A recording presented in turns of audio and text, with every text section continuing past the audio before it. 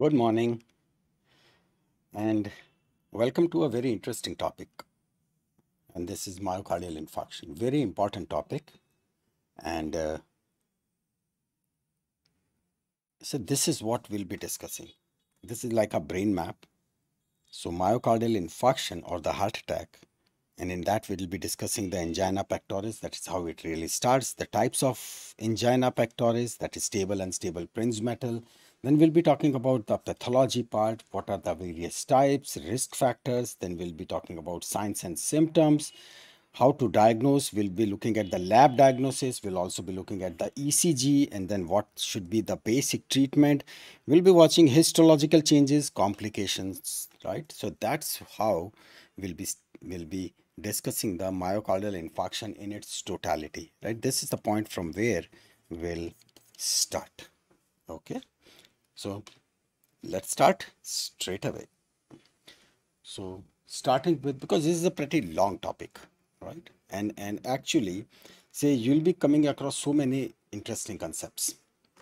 So here it is the angina pectoris, angina pectoris. Angina means angere. Angere means it is strangulation, strangle, right? As if, as if gala davana is strangulation.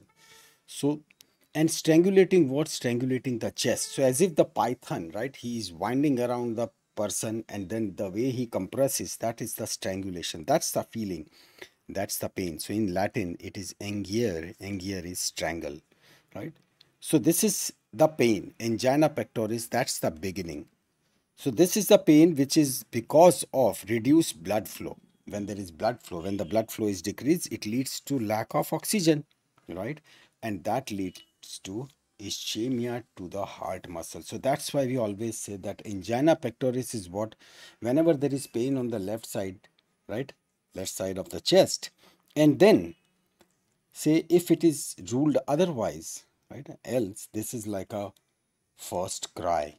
This is the first cry of the heart, right? First cry of the heart. That heart is telling that something is not okay. Now we'll be dividing into several parts so that we are crystal clear when we are dealing with the patient. So these are the types. One is stable, second is unstable, third is Prinzmetal, right? Because these are the things which will late, which can later develop into a massive myocardial infarction. Starting with, this is the stable one, right? Things which are pretty clear will will take it bit fast so that we can spend good time on on those lab tests etc on the ecgs because they are like very very interesting and very precise right? So here is the stable angina. It is also called as chronic angina right? This is the most common. What happens? Say this is this develops when there is now look at this. This develops when there is more than 70% of stenosis Look at this 70%. That means still this is the caliber of the coronary artery until it is reduced by 70%, right? 70% reduction. Till that point, the heart survives, right? There is no indication. So this is the thing. This is so dangerous, right? And that's what is called as the coronary atherosclerosis. Atherosclerosis means this is blocked by the plaque right? We'll see what is plaque right? But you can say that think it like if in a cross section i'm good ankit thank you. So this is the plaque right? I always say this plaque is we'll see that what are the things which will, which can lead to plaque so all those insults to the body they lead to formation of the plaque right? This one this. And we'll, we'll look at it even its parts but the thing is the effect is there is decrease in the blood flow and that decrease in the blood flow is the first cry of the heart. Now here it is that even if there is 70% of the reduction right pain goes away with rest. When the patient takes rest and the pain goes away this is the point when they may they start taking the things lightly. If it is going back going away with the rest but it if it is coming back on exertion right beware. This is the first step right? So that's why be extremely careful on these two things. This is the reason when it is said that if you run a marathon right if you run a marathon right you don't need health certificate. You don't need fitness certificate because in marathon when you are running it all right all these things they are taken care of by itself because then coronary arteries they should really pump the blood right very effectively so that heart keeps on running at such high pace for such a long duration right? So that's why say fitness will be playing such a major role right as we'll see just after some time. So here it is right? Here is our explanation of the plaque right? So what plaque is now see this plaque is it has got two parts two components. One is the soft component second is the hard fibrous component. So that fat cholesterol protein wbc calcium all those things collectively right they lead to formation of this plaque right? The wall right from one of the wall right it starts rising this is the soft part, but it is covered by hard fibrous capsule and it, it takes time to develop. It is never instant, right? It takes years and years, but it is a gradual process, right? Now, how, how important it is to see that we have to look at the layers of the cardium, layers of the heart muscle. This is endocardium, myocardium, and the epicardium, right? Endocardium is inside, myocardial is in the middle, that is the muscle thickness, and the epicardium. Right? Epicardium would be the outside, right, or the outermost, and endo, endocardium would be the innermost and this is the myocardium. Now here is the coronary artery. This coronary artery which is which will be passing through passing through the myocardium which will be passing through the myocardium and will be supplying blood oxygen to the inner layers right? Everywhere it will supply. Now th see this thing. If if the inner layer if this one is not getting the enough blood so that is called as the subendocardium ischemia. Makes sense? Right? Sub subendocardium ischemia. Now this artery because this coronary artery it has to pass through the thickness of the myocardium there is no big rocket science because instantly you'll say, okay, yes, it is the left ventricle which is having the thickest of the muscle. That's the reason left ventricle would be more involved into infarction as compared to the right ventricle. Left ventricle would be more involved as compared to right ventricle because left ventricle is thickest thickest so those coronary arteries they have to really pass through those muscles so that's the reason that this will be more involved first. You will very rarely, in fact, you won't see right atrial enlargement, right atrial uh, infarction, right? It is usually not seen because the wall itself is so thin. So usually it is not seen. But sub subendocardium ischemia, right? In case of left ventricle, yeah, that is that is more common. Right? Now, what would happen? This whenever there is ischemia, right? Whenever there is ischemia, it will release two things there will be release of adenosine and bradykinin. Both of them, they give pain, right? Adenosine and bradykinin, both of them, they give pain. So there is pain sensation, right? Now this pain sensation, that is a sort of chest pain, right? That is a sort of chest pain. But when we say chest pain, it is also there would be also the referred pain right? There would be referred pain. And this referred pain would be classical. Left arm left jaw left shoulder and it can go even in the back. It can go even in the back. Right? All due to because the dorsal root ganglia the supply is same. It is because of the same dorsal root ganglia. So that is what is called as the referred pain. The pain is at one point, but because when it is it is this pain, when it is carried to the brain, because of the common dorsal root ganglia, wherever it is supplying, so there also there is feeling of pain, and that is what is called as the referred pain. Yeah, and this is the radiating pain, right? This is a radiating pain, especially if it is going in jaw, right? Very very important right if it is going in jaw right arm and and then uh, say scapular region right also remember I, I will write it over here the scapular region right? The pain in the scapular region, that is also very vital, right? So do take that in, in other words, everything surrounding the heart, right? So left shoulder, right? The chest pain, left shoulder, left arm, scapular region, back, and the and the jaw, and the jaw, right? So this is these are the things which we'll see. We are dealing with right now angina, right? We have not yet touched the full-fledged infarction. So that's why this is just ischemia. There is a lack of blood supply. Now, moving on to the ECG. For ECG, remember one thing. As the intensity grows, as the condition worsens, this ST segment, it starts rising. Higher the ST segment, bad is the condition, right? So think it like the beginning, normally, the ECG changes. The ST depression, that's the beginning. This leads to this conclusion that there is subendothelial ischemia. There is lack of blood, lack of oxygen right lack of oxygen so that st segment right so this is the qr qr is for rising wave s is for depressing wave right or the sinking wave this is the t and this is the portion which we are talking about this portion this portion. This st segment right? This st segment it goes below. It is depressed right? What to do? Always keep this nitroglycerin right? Or i say like this say tablet sorbitrate sorbitrate and tablet aspirin.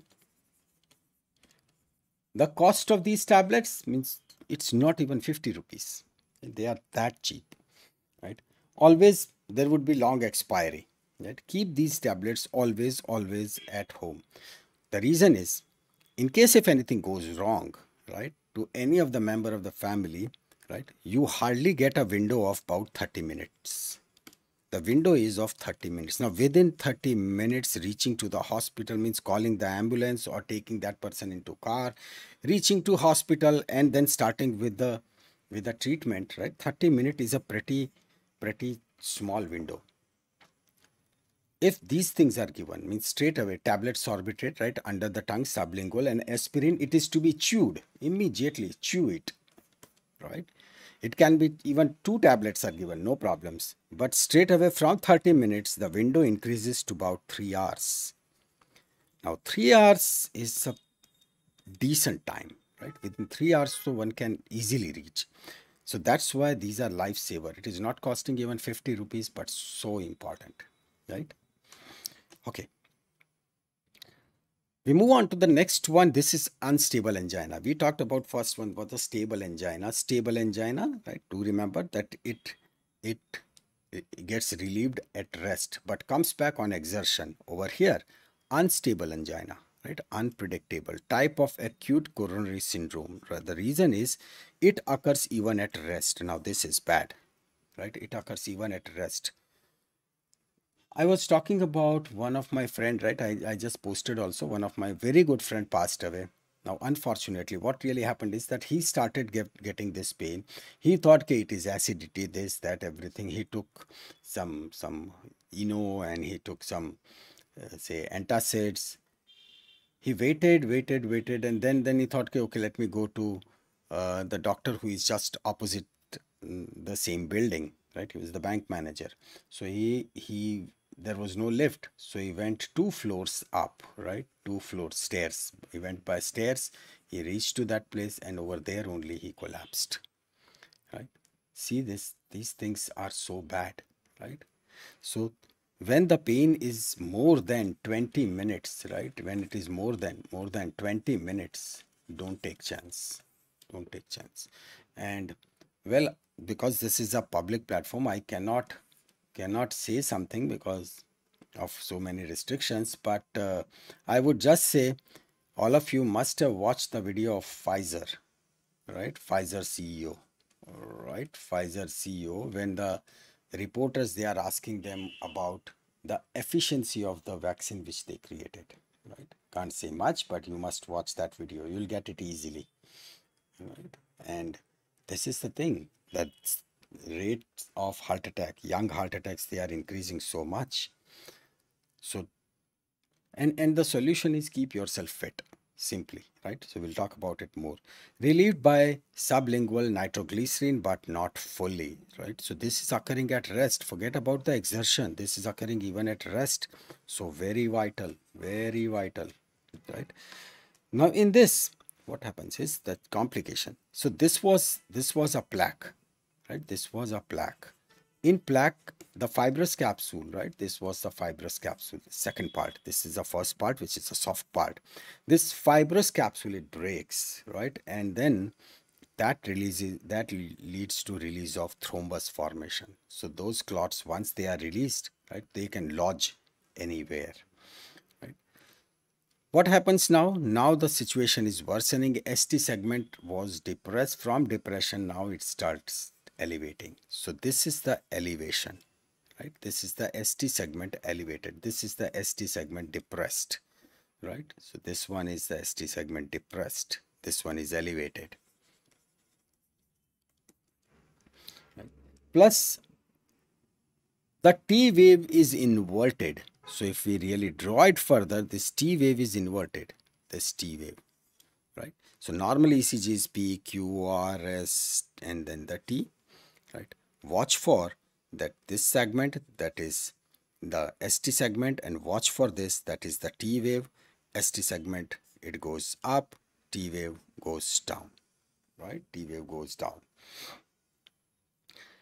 When you see this if someone tells that okay I'm having chest pain you straight away go for ECG don't go for any of the lab tests first thing which should be done is the ECG because on ECG, you will be able to see some of these changes, either the ST segment. The moment you see that ST segment is affected, right, it is very vital, very vital. Now, at this point, if you send his blood for even the cardiac biomarkers, right, you won't find anything. That no car cardiac biomarkers are elevated. What are these cardiac biomarkers? Well, we'll see them in more detail, but this is lactate dehydrogenase, troponin, and this is creatine kinase MB, right? This is muscle binding. All these, this CKMB, CKMB, troponin 1, LDH, these are all normal, right? But you'll start finding the changes into ECG. Why they should be normal? Because they are the cardiac biomarkers. That means in case of heart attack, in case of cardiac muscle injury, they should be elevated. Yes they will be elevated but because they take some time right? This is a chemical process so it takes some time. It is not instant. So in case of unstable angina the first thing which is it is the ecg right? Now we move further. The third stage the third part this is what is called as the prinzmetal angina. Prinzmetal angina in this case also there is angina at rest and it starts coming in cycles right it starts coming in cycles one after the another. And this is because by the vasospasm.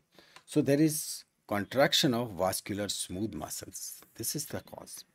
So in this case right once again say calcium channel blockers. In calcium channel blockers yes we know that yesterday when we were talking about pharmac right? Calcium's plus 2 that is square 2 square. So this is type 4 this is type 4 type 4 so we write it like iv verapamil right? This is like this. So that is verapamil right? And the diltiazem these are the two very important drugs for the prinzmetal angina. That is when it is because of the vasospasm right? We won't be giving propranolol important. We won't be giving propranolol because in case of propranolol, that is a beta blocker. And in beta blocker, there were two types, selective and non-selective. And we know it very well that when we talk about selective, so then selective is what? Selective will be acting on beta 1, while non-selective will be acting on beta 1, beta 2, right? So beta 1, this is what we want. Beta 1, beta 2, this beta 2, so it is as Uh, acting on the blood vessels right? And these are adrenergic. Adrenergic means what will they be doing? Adrenergic right? Adrenergic that means fight and flight right? So then beta when these receptors are stimulated so it will increase the heart rate right? It will it will lead to say all those bronchodilatations right? Because we need more air more blood blood pressure is increased. We want to fight. That's why beta blocker. We want to block them when we block them so it will lead to everything would be say coming down. But what really happens that over here when you are you are talking about the heart so heart rate slows down because it will it will be leading to say decrease in the av conduction right? It will also act on the muscle so that that will also slow down. So the entire cycle slows down. But over here what will happen to the lungs right? In the lungs right it will lead to spasm bronchospasm because they are non-selective. Also it will act on blood vessels which will lead to vasospasm right? Because when these beta 2 are stimulated it will lead to dilatation of blood vessels. But now they will go for vasospasm. So this is this will worsen the situation. We don't want that. So remember you will be in treatment part we'll see that we'll be using selective will be sil using selective beta blocker and we won't be selecting the non we won't be uh, using non-selective beta blockers. So propranolol, we won't be using, another one was timolol, right? Timolol, no, we'll not be using even timolol, right? We remember non-selective means everyone, everyone means team, timolol and professionals, right? Propranolol, so we'll not be using these two. Okay, one another thing is because of vasoconstriction, say this is platelet thromboxane A2 right? What exactly is this platelet thromboxane A2? Now this is this is a sort of vasoconstrictor, right? Now when we when we talk about see in this thromboxane A2 in in short we write it as TXA2 TXA2 right and and this is released by activated platelets right activated platelets so activated platelets, they release this. Why? Simply they say that platelets come into picture whenever there is any of the bleeding and they want to, con you want to make a clot, right? This is to form clot. That's the purpose. So the, as such, it is a good thing. But over here, it can prove dangerous, right? And uh, one one more thing which which is like when we you know this is one the, one of the thing is vasospasm. There is one more thing that see there are alpha receptors also right? Alpha receptors alpha receptors. Now when you are blocking beta right? So then those alpha receptors so they they become very happy.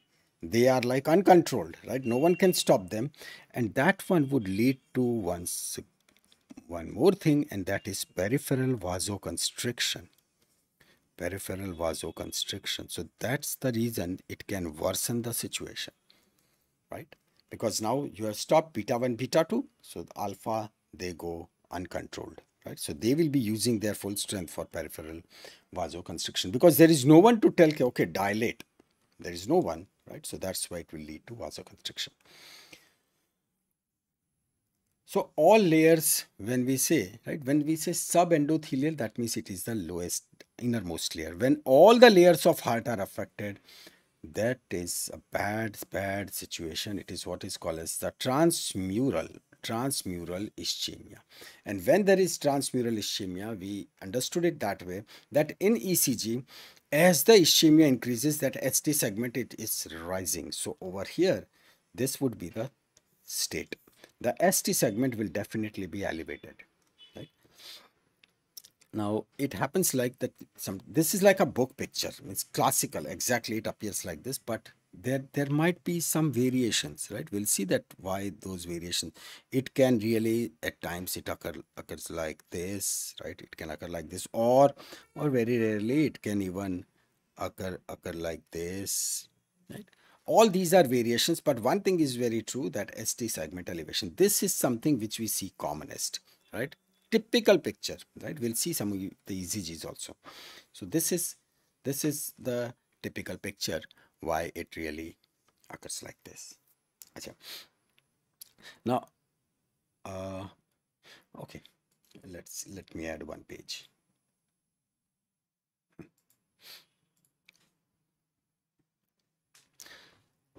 Now see when we when we talk about when we talk about sorry when we talk about say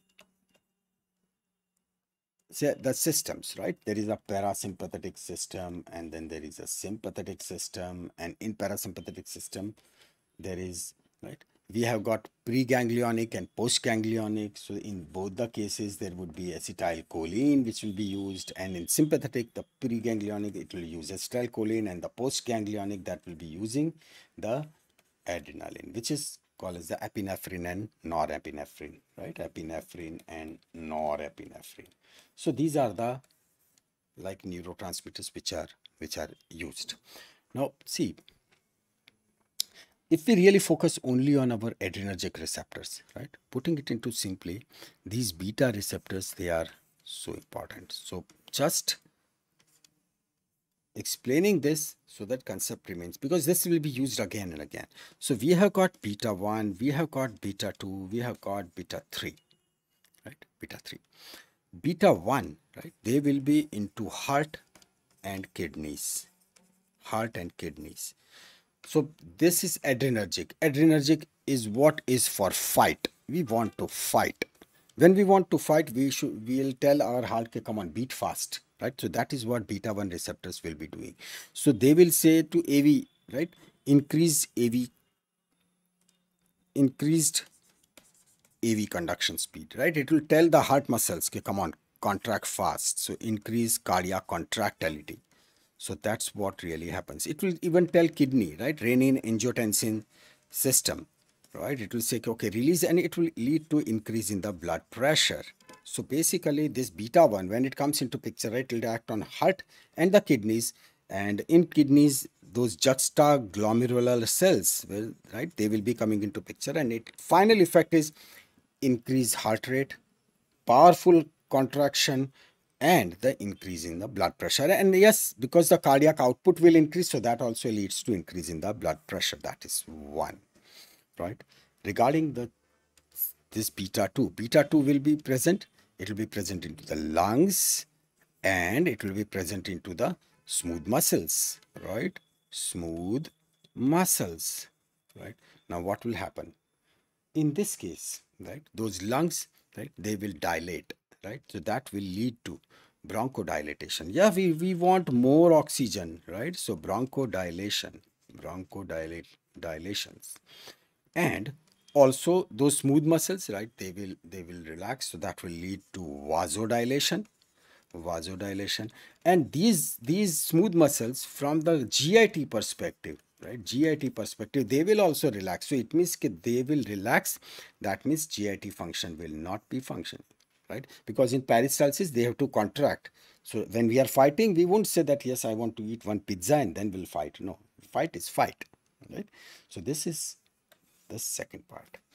So that's the reason now we are clear that if if we are we want to restrict this beta 1 okay beta 1 don't work right? So that heart cools down right? There is decrease in the blood pressure. But beta 2 if we say the beta 2 will say okay bronchodilation ulta chalo constrict bad effect. Vasodilation vasospasm right? So that's the reason we want a selective beta blocker and we want to block only this we don't want to block beta 2 right?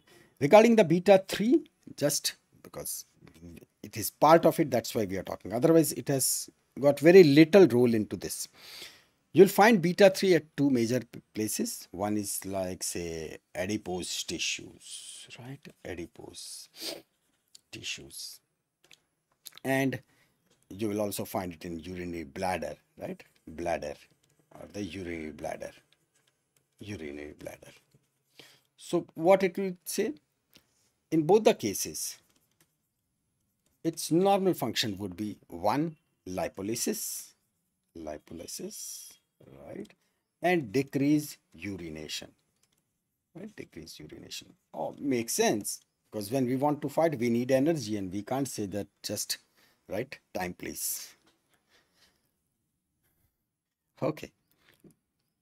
So now we move on to the pathology of myocardial infarction. What really happens?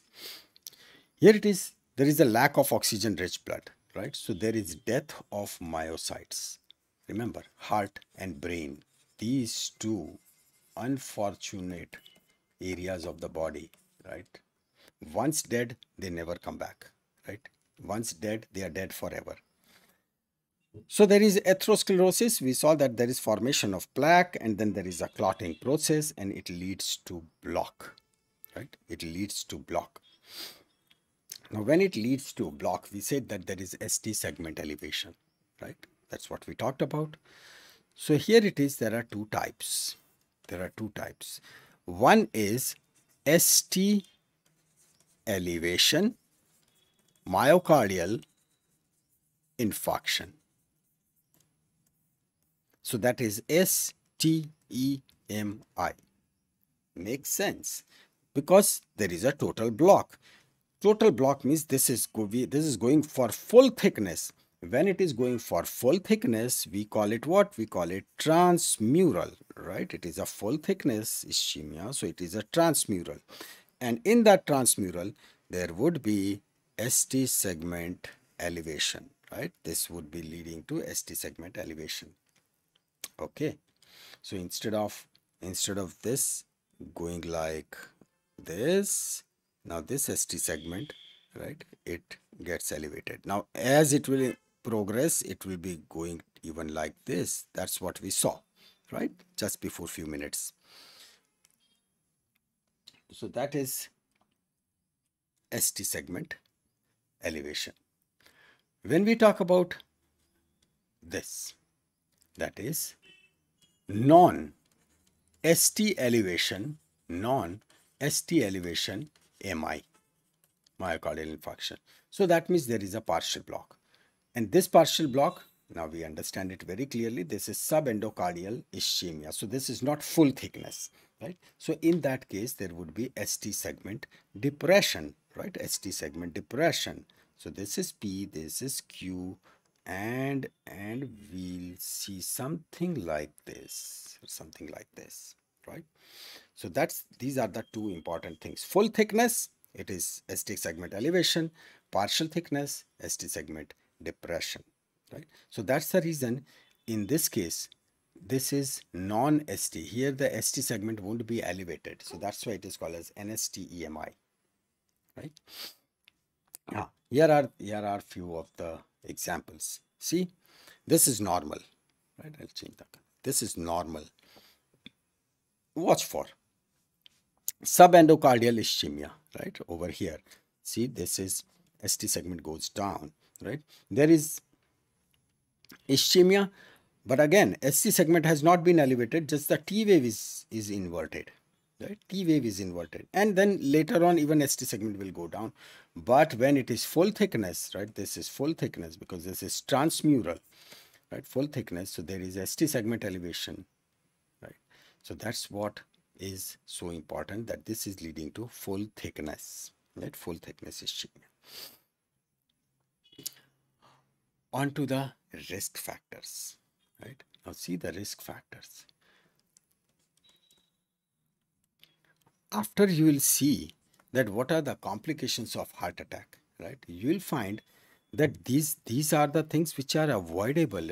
Because we can avoid these things because those complications they will be they will be scary right? And we'll be studying it in more detail. That it is not so that one person has uh, suffered from the attack and then he has reached to the hospital and everything is fine. No we'll be tracing him all the way for days and weeks together that what can really happen in the heart. And then there are so many risks so many risks involved right? And it's all natural. No one in the world can can stop it right? But these are avoidable. Smoking right? Very harmful. High blood pressure do take care of it. Diabetes mellitus high blood sugar very dangerous. Obesity right? See these things they can easily be easily be managed by a proper lifestyle right? Proper lifestyle. You don't even I, I give this example many a times that we don't put even ghatia kerosene into our bike or in our car. Why? Are a bike is so expensive car is so expensive. So is your body faltu right? Your body is million and billion times costlier than that. But still we put all kachras into that right? Because that burger that that we feel that it's so tasty. But see today you'll see that what that can really lead to. All those things high cholesterol right? Now one thing which i can bluntly say right i don't really i'm not afraid to say that because there is a very good video also with me and even the reports are there that in india all these companies right mcdonald's and all those right if you really check the level of salt the level of sugar which they put into into their their things right? Those their, their food products. And then the monosodium glutamate all these things they are so much that the daily requirement of the salt is exceeded by 5 to 7 times right? 5 to 7 times. There is so much of sugar there is so much of salt so that things they they become very tasty. And this monosodium glutamate is like a killer. There is a big difference between india and say usa we feel that it's the same company? No. Company is same but in india our restrictions they are not that high. So that's the reason the quality which we get we might get the things which are tastier but they are so injurious right? And there is a wonderful video on it. I got that video also. And there are very good reports. And when it was asked when the question even in that video also when the question was asked to their ceos and ctos right? They were they were unable to answer right? They just walked off from that party right? That that party which was in delhi right? And when the reporters they reached to ask these questions they walked off. The thing is they don't care. They want business right? They don't want you to be healthy. So that's why high cholesterol right? They want that you be the couch potato. All ghatia advertisements this media they keep on showing you that aram se baithe and then having those chips and faltu things right? It is so injurious right? Alcohol right? All those advertisements which are shown right? Alcohol right? As if as, as if it is it is very big achievement to have alcohol right? All those things. What happens right? All these these ott channels they really show in one of the one of the videos one of the series. I, I it was shown that even the students of 10th and 12th standard right?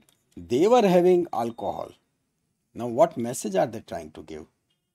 So it is like those save yourself. And and then unnecessary stress unnecessary stress. Right so much stress is imposed. Now see with stress nothing goes wrong right? Stress free operations you do it and you will be getting much better results. Right from the beginning that's what i say right from the beginning the day you take admission in medical college right forget rest of the world right? Focus on yourself and see what happens at the end of your mbbs you will be so happy with yourself.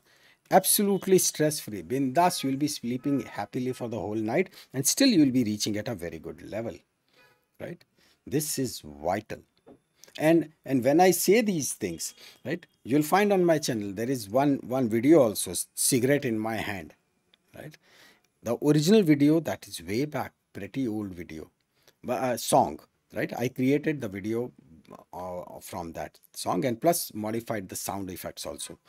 But the line is cigarette the beginning is cigarette in my hand i felt like a man and the end is cigarette in my hand i am a dead man right? This is what really happens.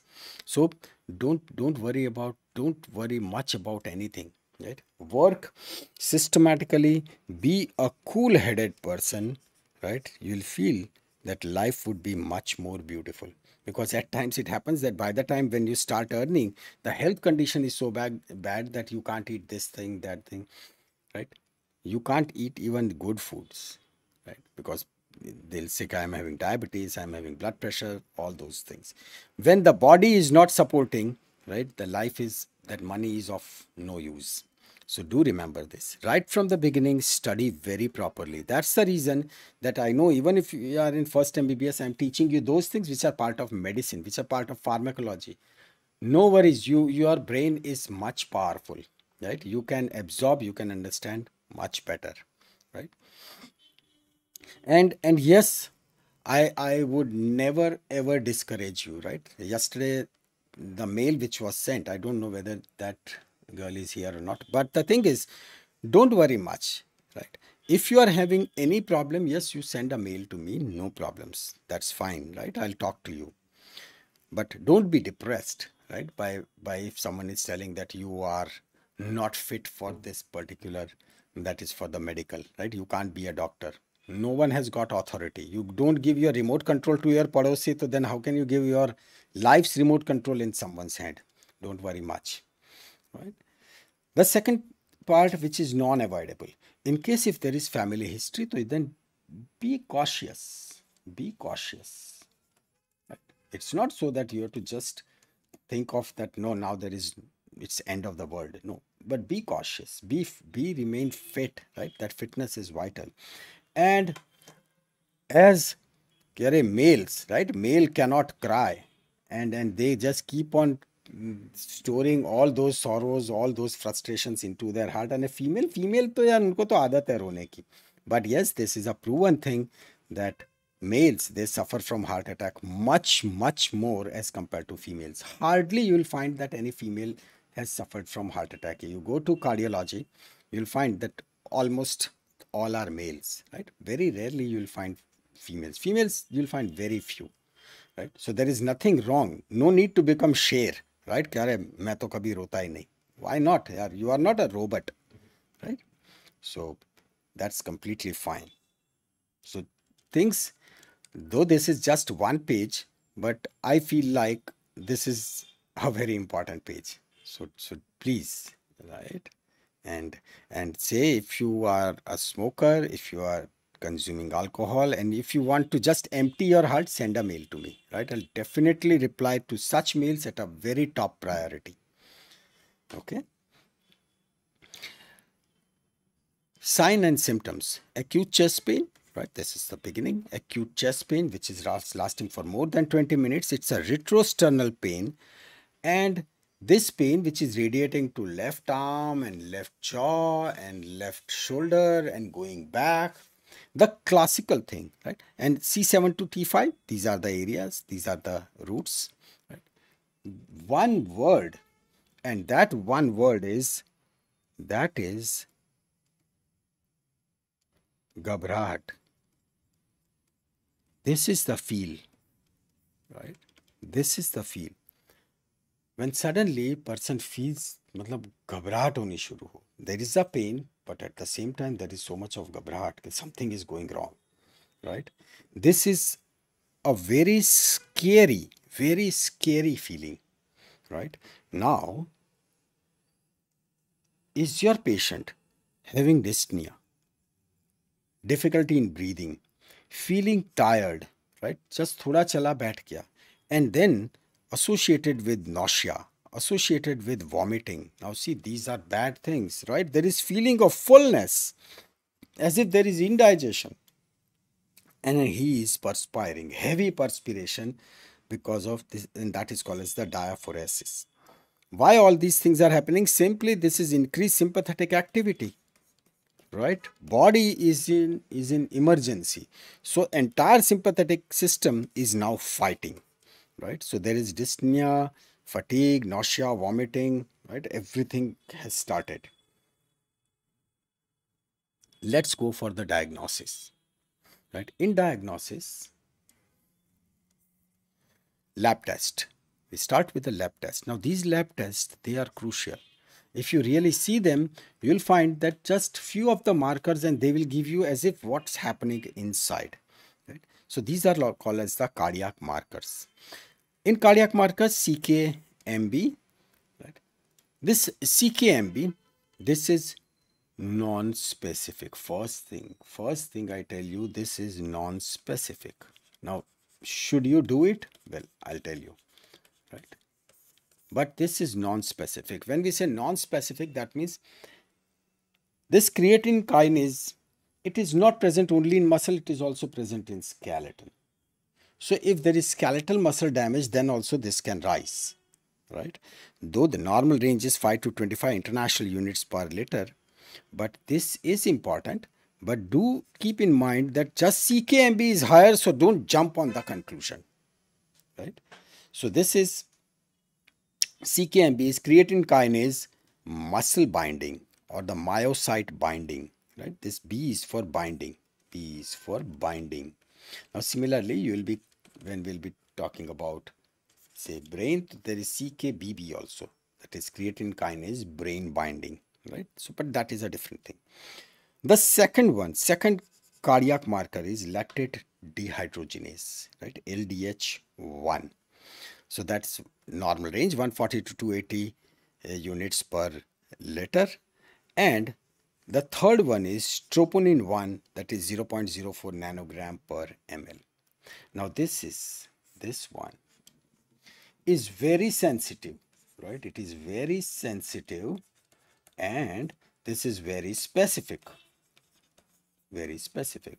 So what what's the importance of these things? To see this, first let's understand that why it should really occur. Right? So this is like a normal myocyte, right? So normally this LDH and CKMB and protein, they, they all are inside the myocyte, right? In, in myocyte. So they don't come out, but they appear in blood when there is injury right so normal in normal cases if we really check it they, they won't be appearing in blood but with injury right when there is injury injury when these cells they break right they appear in blood make sense right they appear in blood so this is the logic behind that why they should really appear in blood and normally they don't because they are packed right now LDH1, CKMB and troponin 1. By the way, this, this CKMB in some of the labs you will find that it is they, they write it as CPK, right? It doesn't matter much. It is it is one and the same thing. CPKMB, right? CPKMB. Huh? Yeah. So CPKMB, this is phospho, right? This is phospho. So creatinine phosphokinase myocyte binding, right? So, so they both are same. They both are same. Troponin 1, when we said that this is most specific.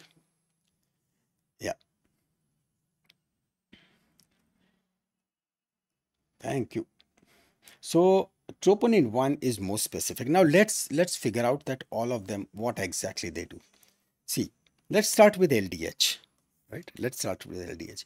LDH rises very rapidly right? LDH is lactate dehydrogenase, right? This is lactate dehydrogenase dehydrogenase. Now it rises very rapidly but it falls also very early right? So very rapid very and the thing is it is not specific to heart rate heart muscle right? It is not specific to heart muscle. And say from lymphatics it goes to the venous system and then it goes into the IV blood. That's what really happens. Uh, have have you uh, studied general anatomy of circulatory system lymphatic system? Uh yeah there is there is. General anatomy of circulatory and lymphatics it has been discussed. Nervous not yet. Nervous not yet. But yeah in in part of the nervous system we have taken action potential etc it was taken. Sympathetic parasympathetic what was taken right? After this we'll be taking the respiratory system and once the respiratory system is complete then we'll be going for rest of the topics of thorax. And once the thorax is complete we'll be going for neurophysiology right? We'll be going in depth of full-fledged neurophysiology. And in neurophysiology also we'll be coordinating it with the clinical medicine in which we'll be discussing. There would be one day for ct scan one day for mri that is about how, what exactly you are supposed to see. The way we discussed x-ray chest right in in one of the sessions same way we'll be dealing with ct mri so that by the by the end of say six months you'll be ready with almost everything. You'll be knowing that in ultrasound what you're supposed to see. In ct if someone gives so then what exactly which values are to be seen. In mri whether you'll suggest someone mri or ct or well you'll suggest someone say pet scan yes or no. So that's how we'll be going right? Okay. Now see yeah troponin is this related to calcium proportion. Yeah it is it is. We'll come to that. We'll come to that. But say today we are watching that this is a patient right? And and its values when they come in your hand right? Sometimes what happens we are so much theoretically oriented but when it really comes to when when the patient comes with the reports in his hand we fail to see some things. This is what you see when the patient's report come right lab reports come because they will be coming in the form of pages and there will be numbers. So watch for the first thing troponin. Watch for the troponin because troponin is something it will rise within say 2 to 4 hours right? It will rise and it will reach to its peak in 2 to 4 hours. So that means the patient has been admitted right at say 8 o'clock in the night. By 10 or 11 if you check his the this troponin will be skyrocket right at the same time you give ckmb now you'll find that ckmb that has that is increased but it is not that significant right? It is not that significant. Because the thing is troponin is very specific. But as we said that troponin why it is important? Because peak will be at 2 to 4 hours and then within one day it would drop though it would be higher but it will continue to remain at that level for 7 to 10 days. Right? This is the classical pattern of troponin. What happens to ckmb now ckmb initially will find this is we initially will find with that that it is it is not that high. But by the end of 24 hours on the one day today the patient has been admitted at 8 o'clock in the night. Next day you send the blood at 8 o'clock in the night right? After 24 hours you will find that ckmb is high. But then on the next day right that is after two days if you see it has come back to normal. This is normal right? It will come down. So it rises and then it comes down. Still we'll keep on doing this ckmb because that day if we find another peak right? After 48 hours if you find another peak beware this is another attack which is now in progress right?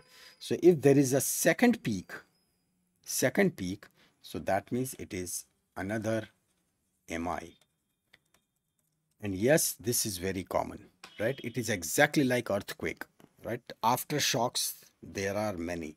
So that's the reason that post mi right there can be so many complications and we'll see those complications with the reason in depth. Okay so here it is now how to how to see you now you know the ecg part right? So in ecg what we see we see st elevation. Yes there would be q waves inverted t wave and then there would be left bundle branch block right? This is left bundle branch block. Okay uh, i think we have not talked about left bundle branch block huh? Uh, uh, chalo, let me add one page. And it's very easy. It's very easy. Yeah. So here is SA node to AV node to now there is right bundle left bundle and Purkinje fibers it goes. This is left this is right whenever there is earthquake and if something happens to the building it will automatically be affecting even its electrical system wires etc correct? The wires will also be broken. The same thing is over here. When there is there is left ventricle is commonly an affected so it will affect even this electrical system also right? So there would be partial or massive damage to the left bundle of His right? Now when this thing occurs left bundle branch block right is normal right? Right is normal. What would you really see in this ECG the first thing first what you will watch is that the QRS complex right? That QRS complex that would be widened yes because this left now it is going slowly slowly slowly. So right has already contracted but left is going slow slow slow. So that qrs complex which was prepared because of the contraction of ventricle it would be elongated.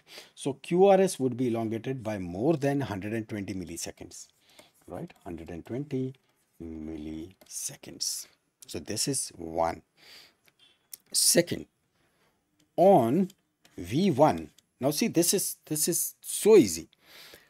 that's the heart. That's the heart. This is right side. This is left side right? This left side is bichara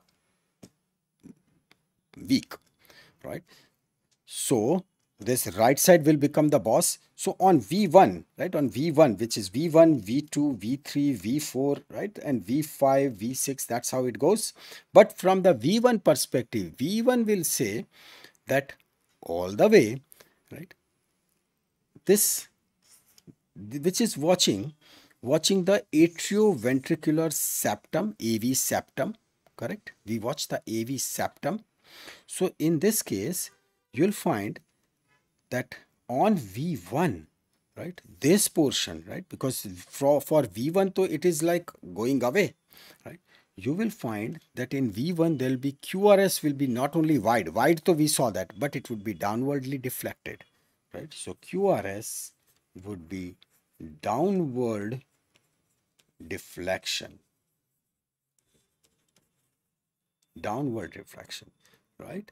So I, I do have the ECG pattern. Let me let me show you. Just a minute. Mm.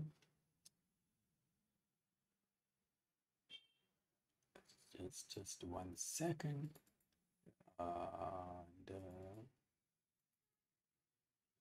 and here it is. Okay, here it is.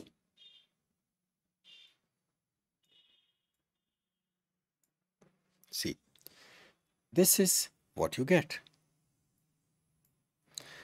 On V1, flatten it. Yeah. On V1, V1, see this is the downward deflection. And on V6, it would be up. Right?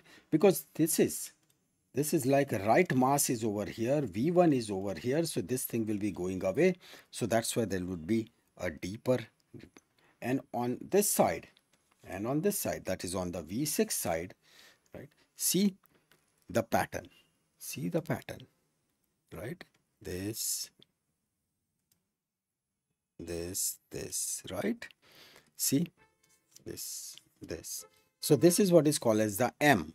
And over here it is called as the w.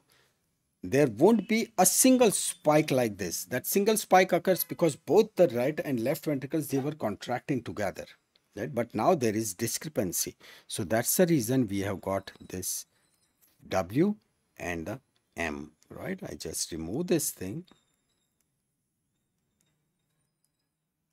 So just mark this and this this is l b b b left bundle branch block reason yeah reason that electrical system is affected right so see here, this is left ventricle, right? This is the left ventricle. This is right ventricle, not as much affected. And this is the right coronary artery. This one is the left anterior descending artery. And this is the left circumflex artery, right?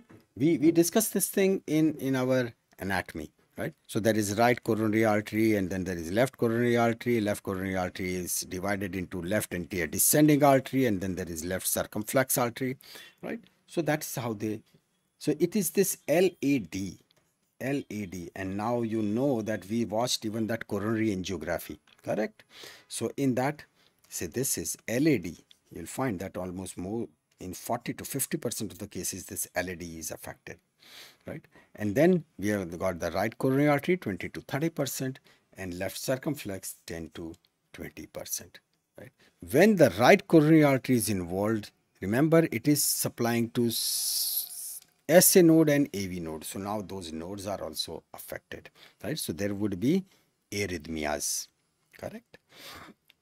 So that's what can occur. Now moving further this one. When we say that there is ST elevation, ST elevation, right? That is one. So this means that as the ST segment starts elevating, this is leading to a bad area. But in which, which lead it is happening, right? In which lead it is happening. So see, when we say 3, lead 3, AVF and 2, that is how we see the heart from the inferior aspect inferior aspect correct that's how we see the heart from below right? so that is when if we see these changes we we know that now it is the right coronary artery rca is involved so when the angiography is getting done right your focus would be because you have already seen the ecg and you know that in 3 avf and 2 right in lead 2 lead 3 and avf we found that st elevation is there so focus on RCA, definitely it will come out, right? Similarly, on the AVL and I, and, and the 1, right? AVL and 1, lead 1 and AVL, if they are showing ST segment elevation, so this means it is the left circumflex artery which is involved because you are watching the heart from the left lateral aspect, correct? From the left lateral aspect. So these are some important points.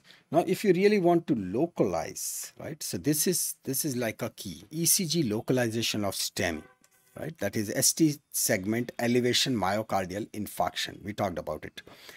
So leads with st elevation and q waves. See this makes complete sense in its easiest way. V1 v2 v1 v2 shows anteroseptal anteroseptal right? And in that case when it is anteroseptal LAD left anterior descending artery is involved correct? V3 V4 V3 V4 as we are coming to the anterior aspect but this is anterior apical right? Anterior apical is because of the angle of the heart. So this is when the distal LAD but basically LAD right? That is involved. V5 V6 when we go on the lateral side so this is anterolateral. So that's where even the circumflex has come into picture. So it is either LAD or LCX, right? We go to 1 AVL, right? That's what we saw it over here, right? 1 AVL. So 100%. Now we are watching on absolute lateral side. So in this case, LCX, right? Left circumflex is involved. So that is good. This is once again easy. The inferior aspect that is 2, 3 and AVF from inferior aspect. So 100% it is the RCA which is involved. Right. V7 to V9. V7 to V9. Where are up to this point we have seen up to V6. Well V7 to V9 it is nothing but you keep on putting the electrodes so that they go into the posterior aspect. So that is where the posterior descending artery, the posterior part is involved. Right? It can also occur. So here it is. Right? Here it is. So V1, V2, this was like anteroseptal, this is the anteroapical, and as we go from the lateral side, and, and over here, these are the posterior aspect. Posterior aspect, right? This is heart, right? If heart is here, so obviously this region is anterior, and this one would be the posterior part right? So this is posterior. So st segment elevation but where do we we are getting? This is of prime importance right? And obviously right arm left arm left foot right? That is what is forming our Einthoven's triangle. And then you know Einthoven's triangle. And then you know about the axis deviation right axis deviation left axis deviation how to measure right? All those things which we have discussed during our ECG discussion right? So this is how we'll be looking at it right? That ST elevation but where? Regarding the treatment part right? This is oxygen high pressure in acute attack. This is super super important high pressure in acute attack. Right? The normal oxygen, it won't function. So many times in ambulance, when the normal oxygen is given, that's okay, better than nothing. But actually you require high pressure, high pressure oxygen. Second, powerful analgesics because the pain is bad. It is so bad, right? So that's why morphine is given powerful. Anticoagulants, yes, when we when we say that it is the aspirin we, we take, right? Aspirin so it is as good as anticoagulant, right? Antiplatelet, anticoagulant. keeps the blood thin. So anticoagulants. Antiplatelets, aspirin, right? This is very good and the clopidogrel, right? These are the medicines which are used. Next is beta blocker. In beta blocker, now we have discussed, we have talked about it so much that this is metoprolol, right? The moment we say metoprolol, yes, we know that metoprolol is selective beta blocker, right? This is selective beta blocker. It, right? Selective beta blocker. So this is good, right? We won't be giving, we won't be giving propranolol, right? Propranolol because propranolol is non-selective. Non-selective means it will be blocking beta 1 and beta 2 both, right? So we don't want that. We won't be using timolol, right? Because that also, they both are non-selective. Mm, both are non-selective. So they will be blocking beta 1, they will be blocking beta 2. So that's why we could keep a red mark. No, don't use, right? Don't use, right? Very important. Sorry. the next is sorry. The next is is statins. Statins are see you want decrease production of cholesterol, right? Decrease production of cholesterol. So this is HMG CoA reductase inhibitor. What exactly is this? See, extremely simple. This is nothing but it is precursor of cholesterol synthesis. This is precursor, right? When we say precursor, that means from this, from this cholesterol will be forming. We want to stop it. So obviously we want to stop cholesterol synthesis. So this raw material itself should not be getting converted to cholesterol. So this is HMG-CoA reductase inhibitor. We want to stop this HMG-CoA reductase. Now what this HMG-CoA reductase is? Not very difficult. This H is for hydroxy. M is for methyl, right? Very common word, methyl. And this G is for glutarate glutaryl glutaryl right coenzyme reductase ase means this is enzyme. So what it will do? It will lead to formation of what is called as the mevalonate right? It will mevalonate. That's what is in one of the process and then finally it gets converted into cholesterol. So this is what we really want. So that's why statins they are used right? A very effective drug that is atorvastatin. This is atorvastatin. The name itself, statin, statin, right? It is atorvastatin, statin, which is restricting the cholesterol, right? So that is given.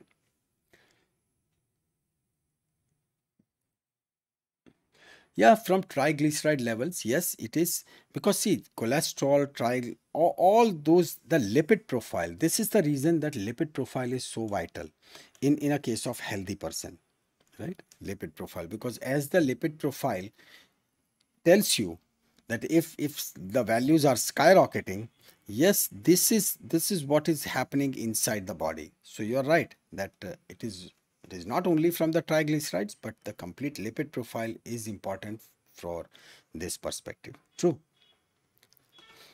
Now we see the evolution of MI.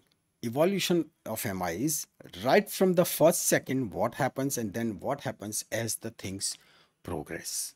Right. So here it is post MI right heart attack has come and this is 0 to 4 hours initial hours right you won't find much of the changes it takes some time before the enzyme they leak right but then what would start it can you can watch arrhythmias heart failure and heart that the cardiac shock. Now why it should occur? First the heart. We are not giving oxygen to heart. Heart is not getting oxygen so heart will go into the anaerobic mode. When it goes into the anaerobic mode, so that means because there is lack of ATP, adenosine triphosphate, so it will lead to increase in the lactic acid. Now the lactic acid is increasing, right? If there is decreased ATP, first and foremost thing, our all-time great sodium potassium ATPase pump, right? That would be affected because this is an active pump. This is a pump which keeps on working 24 by 7 that never stops for whole life. This is a pump which is utilizing almost 25% of our entire energy. 25% of the energy, so it is utilized by this pump.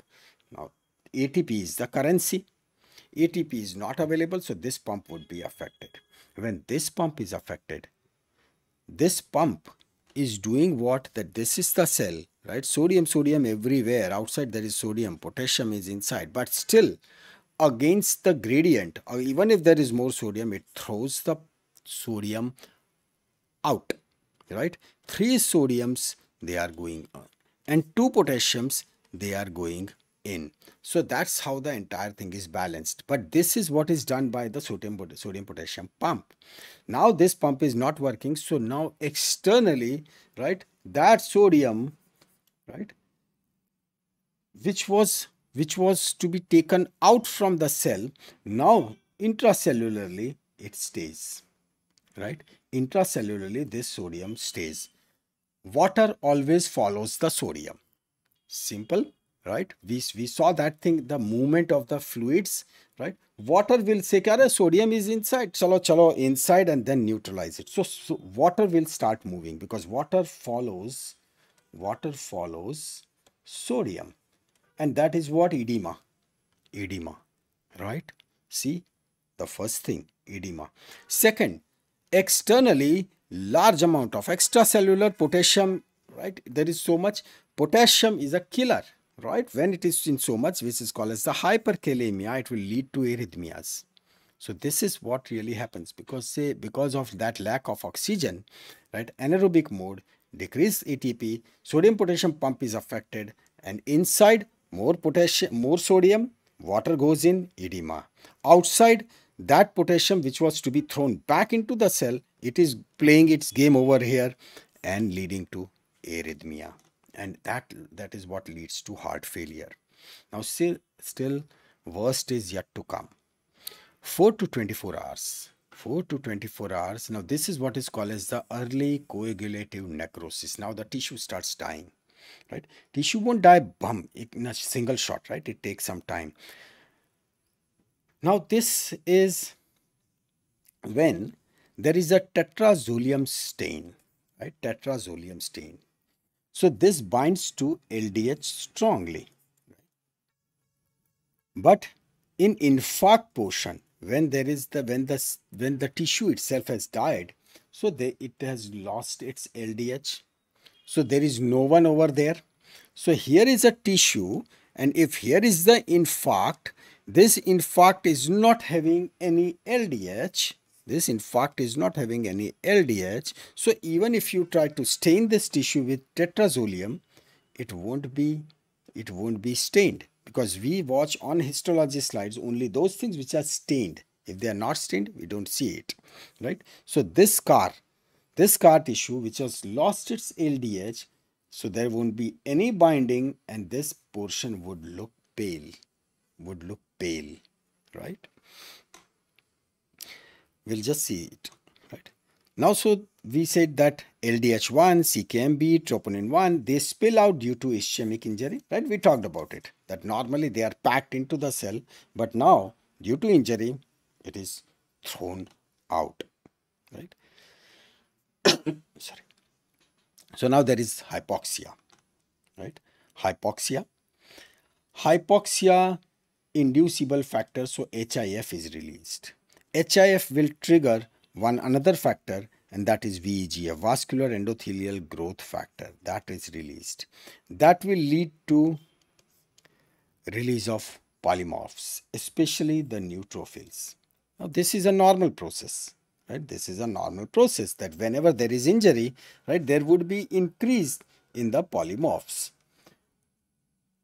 so how much time right? It is like we are on 4 to 24 hours. So by this time we have done the angiography right? Angiography is done and we have put the stent also. So things should be good right? So when we found that okay here is here is the narrowing so we have we have just put a stent over there. We have put a stent over there so that circulation can go good but remember what really happened over here. It this this narrowing it has not happened in one day or one hour right? It took long time. So now the moment you do this is what is called as the reperfusion. This is called as reperfusion because you have opened the road. This reperfusion, because you have put the stent, right, that reperfusion injury occurs. What the blood which is blood is injuring infarcted area. Now, because of stent, the blood is going at a rapid pace, right? What would happen? It will be carrying neutrophils, right? It will be carrying neutrophils. Neutrophils will use oxygen, will lead to formation of reactive oxygen species reactive oxygen species and this will lead to damage this will lead to damage it occurs it occurs right? So sometimes you have to you have to judge that how much is the importance that which area is to or which artery is to be say where the stent is to be put. Still more is yet to come. Yes there is damage either way. But see more damage is still yet to come.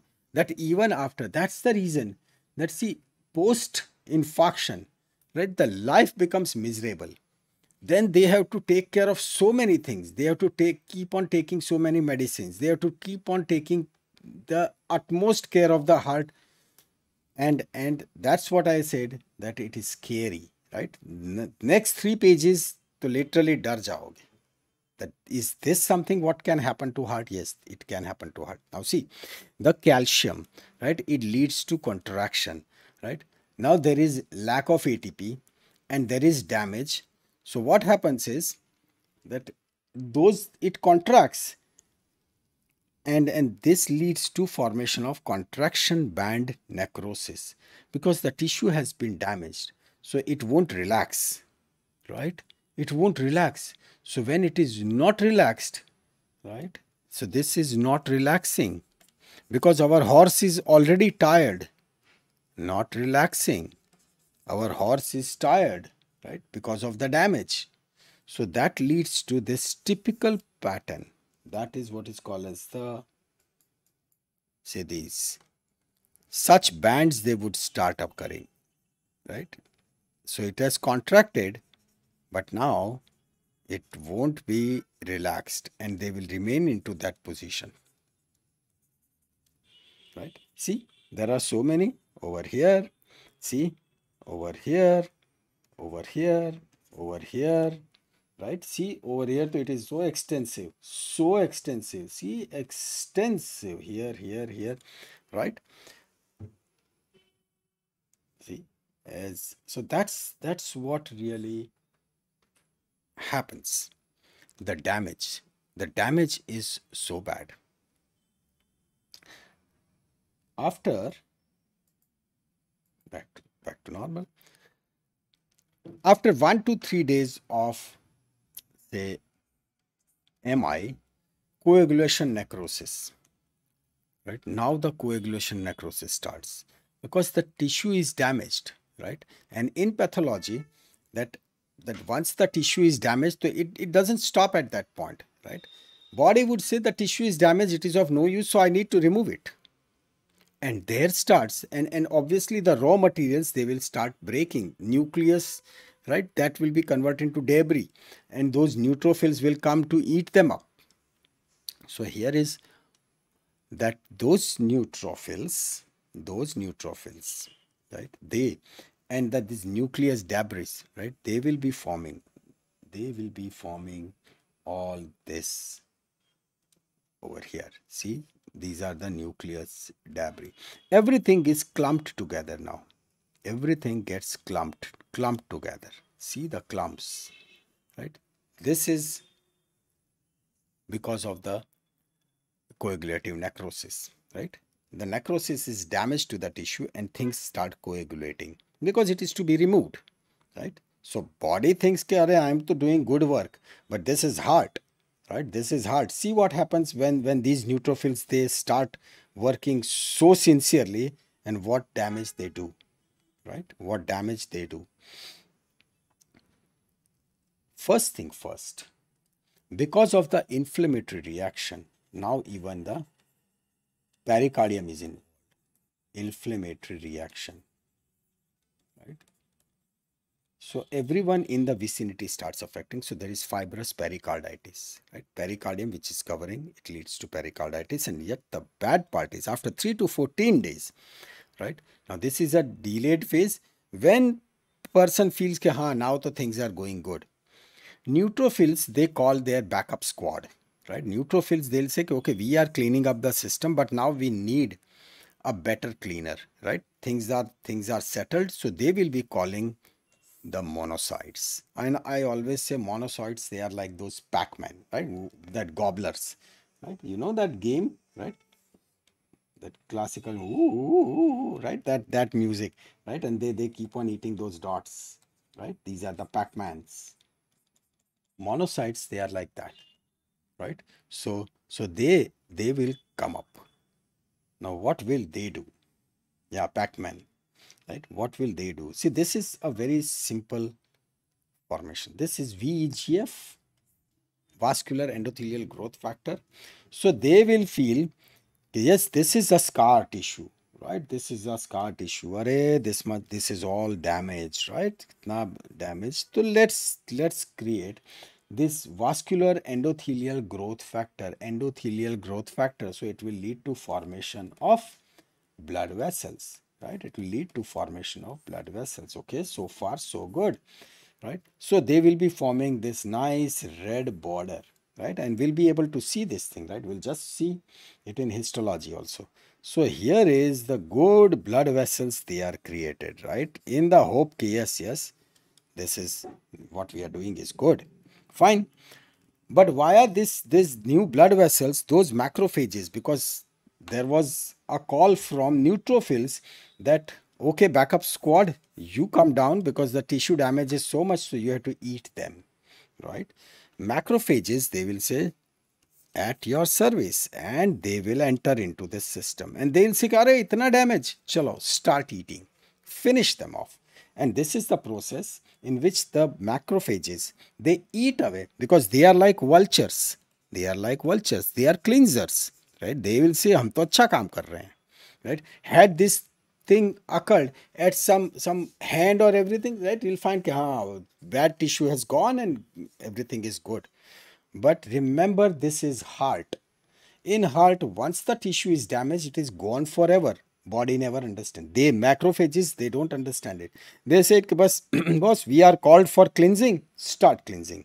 And they start the process of phagocytosis. Phagocytosis. They start eating up the cell.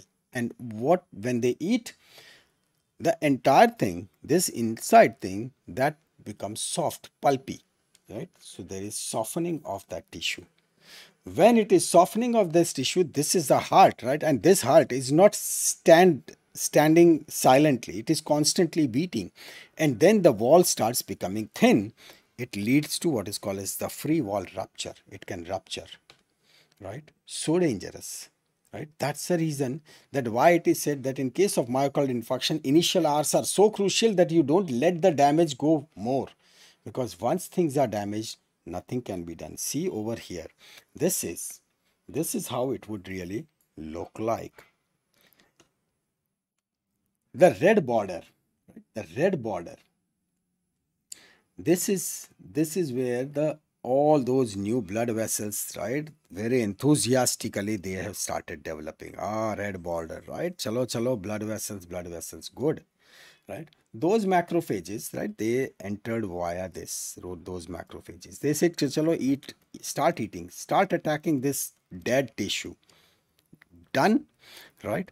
And then this tissue that is what is called as the softening. So this white area is when the tissue has been softened right? It has been eaten right? Because of the good work by macrophages right? And why it happened? Because the vascular endothelial growth factor, growth factor, it said that in, let the blood vessels grow because this is like no one was giving oxygen, so I am giving oxygen, so I am doing this thing in good faith.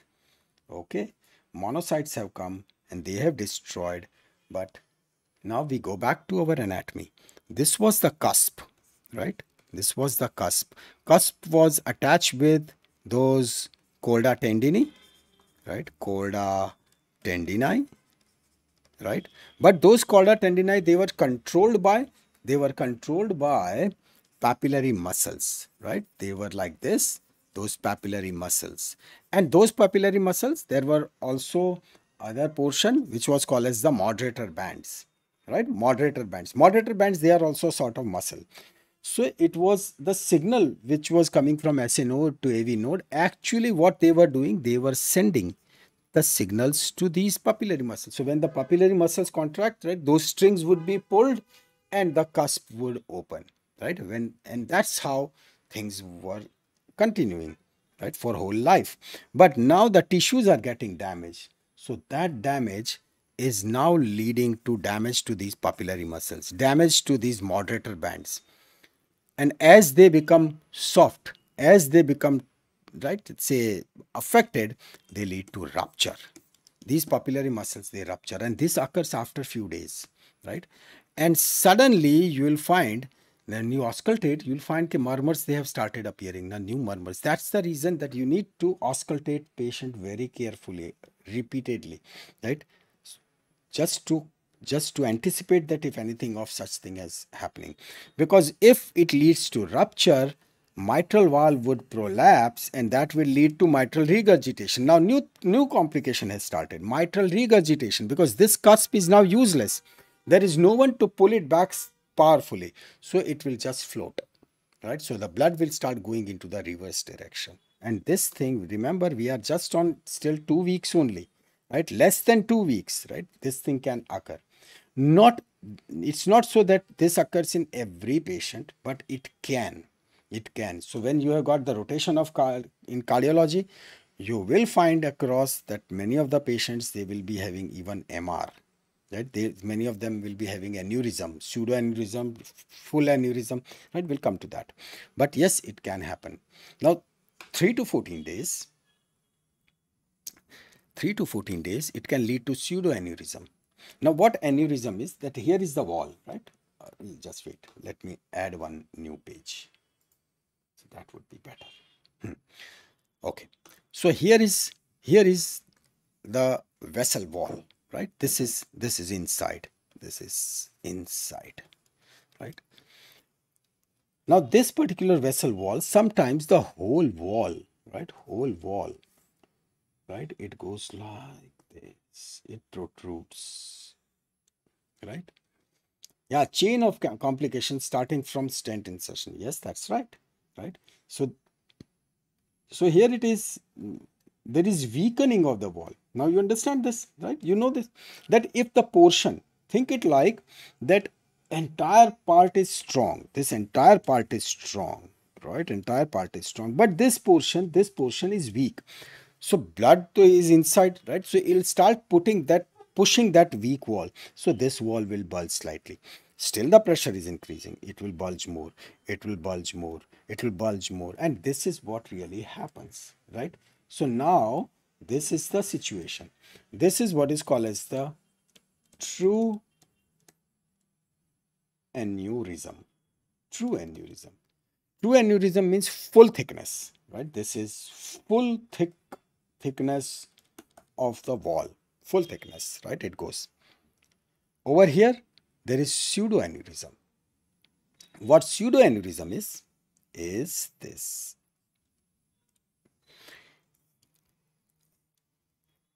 Our tissue damage is in this area, right? So this area is already damaged, damaged, right?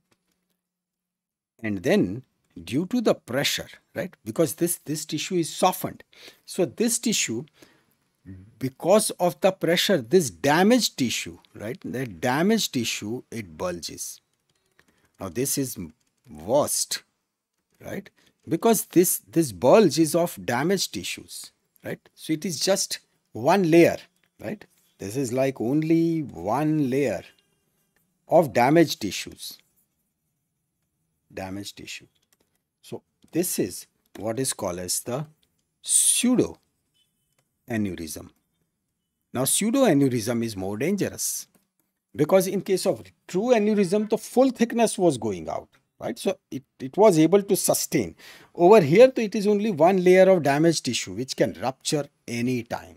This is like a time bomb right? Because think of that this is the chamber one area which is then there is a large amount of blood which is which is really giving giving pressure. And that damaged tissue the because of pressure it bulges. So this is the pseudoaneurysm. And that aneurysm right over here yeah. So that aneurysm which is pseudoaneurysm only one layer and there is high risk there is high risk of rupture right? And when these areas they rupture nothing can be done right? It is like immediate death. After 2 weeks right after 14 days 14 days passed. Now starts there is transcription of growth factor P, right? And the platelet derived growth factor. All these growth factors they come into picture one after the right? And now they feel that this is platelet derived, so let's form the collagen, right? Let's form the collagen. Collagen can be formed, right? Heart heart tissue they cannot be reformed, but collagen can be formed. So they'll say, chalo, let's do that that work. Now here is the heart, heart muscle, right? Myocyte.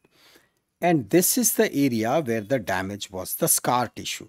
Now this scar tissue is now getting converted into collagen. So let's say collagen is over here. Rest of the heart tissue is, is fine. We consider that it is fine and it is contractile, right? It is contracting. Okay. Now the result during contraction, this phase, because collagen they cannot contract right? Collagens, they won't contract. So they'll be just flapping. If ruptured, then hemorrhage. Yeah, if ruptured, then huge hemorrhage, right? It is, it is life-threatening. So during contraction, during contraction, this one would contract, right? Because it is good. This collagen, it won't contract, right? So it will lead to like a flapping curtain, right? Because it has got no power, right? It is just a collagen, right? so this thing, because it is collagen, it would stain pink, right? If you if you really take the tissue out, and it is hypokinetic. Hypokinetic. It won't move. It won't contract. Right? There is no kinetic energy. Won't contract. Right? Won't contract. And that thing will lead to true aneurysm because all three layers, right? They are now bulge. But over here, it it won't rupture that easily right? But then something else happens. Because it is full thickness now that rest of the layers so they are there right? So if you think it like that we have got all those layers and this is the area which was converted to collagen and as pressure builds right? So there, there would be full thickness all the layers all the layers right along with the collagen. Now that is that has been developed right? That has been developed. Okay? Here it is. Something like this. The full thickness aneurysm. But over here we have got the collagen. But then this is like a pouch right? This is like a pouch. So blood when comes it trickles and then it goes. Blood trickles over there and it goes. Because this is like a side pouch right? When this thing occurs over there, because this is hypocontractile, it won't contract, right? It is hypocontractile. So this is the site from where the thrombus can be formed. Thrombus. A clot can form, right?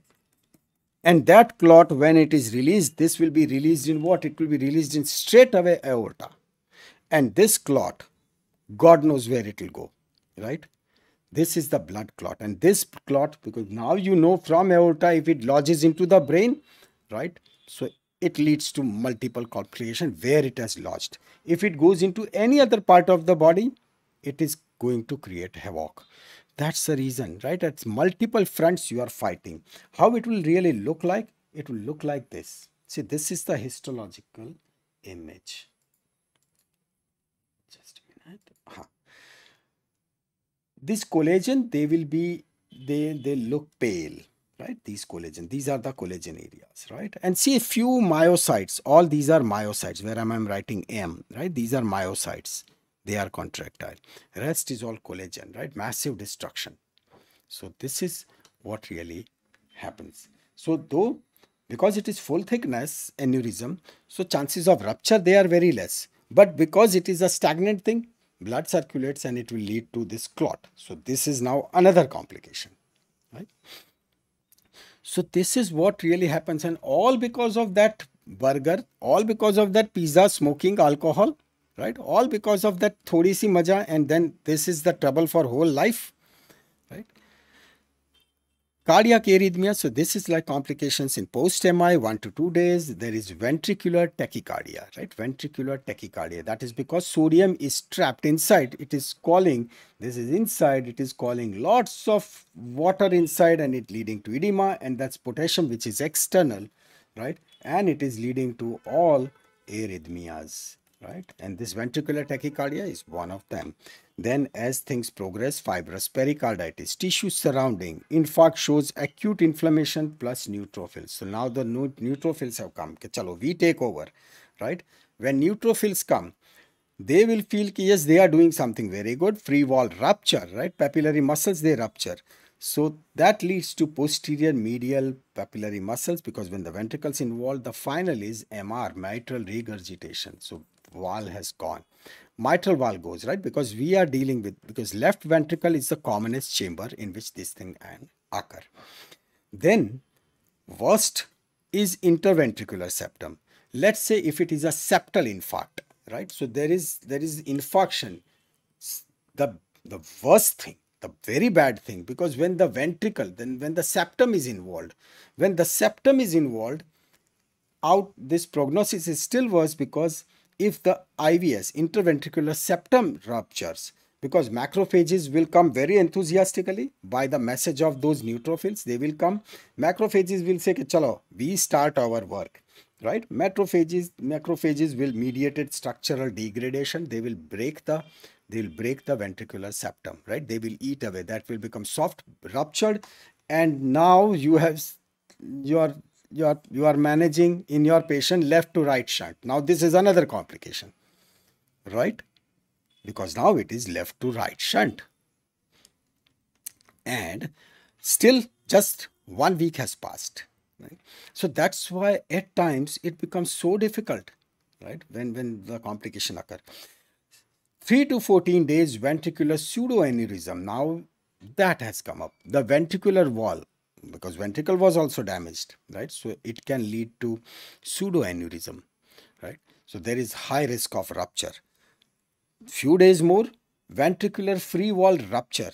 And if that occurs then that is out of question. Nothing can be done right? Nothing can be done. It is sudden death. Straight away you'll find that the that the thorax is studded with so much of blood and it is instant death. Nothing nothing can be done. Two weeks to several months right there is true ventricular aneurysm, right? Gradually it is forming, right? Gradually, because that wall which has become weakened and it has, there is aneurysm and that blood, right? It is trickling, it is trickling, right? And dhire, dhire, dhire, dhire, it is forming that clot. And then that clot, there is, there is a risk of mural thrombosis, right? That occurs. And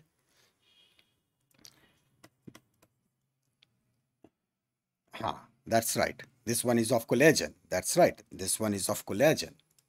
This one. Yeah, that is of collagen. And that's why it is because it is it is hypoactive. It is hypokinetic. Right. Then comes the Dressler syndrome. This is autoimmune pericarditis because there is fibrous pericarditis. So then there is pericardial antigens, right? And there is formation of antibodies post-MI. So now the immune system, autoimmune system comes into picture, right? And they'll say that yes, there is antigen antibody reaction at the pericardium because this pericardial antigen exposure occurs and post MI those antibody formation that because it is like a defense system. And it happens like that there is increase in inspiration there is the chest pain and decreased in sitting posture so when the patient breathes in there is more pain right? There is more pain. And in pericarditis remember this ST segment elevation is diffuse. ST segment elevation is diffuse, right? It is not pertaining to one. We have, we have talked about this previously also, but remember in pericarditis, there is diffuse ST segment elevation. So if you see that just after, classically, after say two weeks to several months, patient has come up for the follow-up and you take the ECG and you'll find ST segment is elevated, elevated in, in so many leads. Now remember, this patient is developing pericarditis, right? So for that, this tablet colchicine, this is allopurinol, right? That is considered as very effective and it should be given prophylactically after any of the heart surgery so that patient never develops this pericarditis.